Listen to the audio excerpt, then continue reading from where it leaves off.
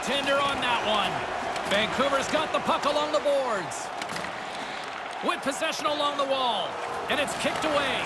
Kicked up ahead to his teammate who skates away. Here's a shot, and that's blocked away. Here's a chance right in the slot. Oh, and he'll be shaking his head up. He scores! That's two in a row.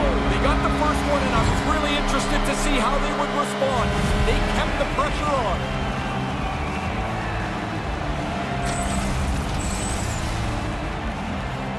Oftentimes, the goalie will drop in the butterfly, take the chance that he's got everything covered.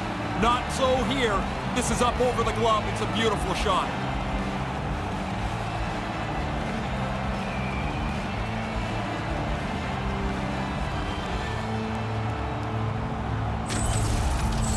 Vancouver's had this game circled on the calendar for a while, and they came ready.